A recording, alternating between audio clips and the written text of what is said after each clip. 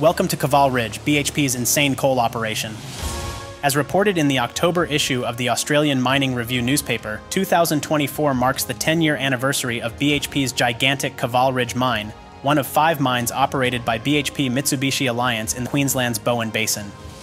Significant operation in BHP's portfolio, Caval Ridge has evolved to be a critically important mine, achieving an average annual production of 10 million tons of metallurgical coal, primarily destined for export to India and Southeast Asia.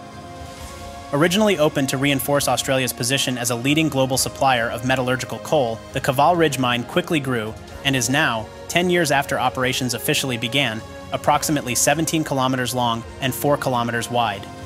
A few years ago, BMA's Caval Ridge broke a world record, setting a new benchmark for coal mining operations globally with the largest blast in metallurgical coal mining history. More about the subject in the October 2024 issue of the Australian Mining Review newspaper.